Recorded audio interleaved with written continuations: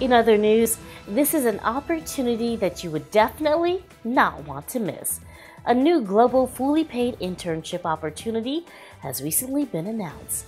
The Aniket Singh Internship Program invites applications from engineering and science students for internships in England, Singapore, Switzerland, and India. 40 students get fully paid internships at University of Southampton, England, EPFL Switzerland, National University of Singapore, Indian Institute of Technology, and Indian Institute of Science in India. Aniket Singh is an alumnus of IIT Madras who works for Apple. For more information, visit www.internabroadthissummer.com today.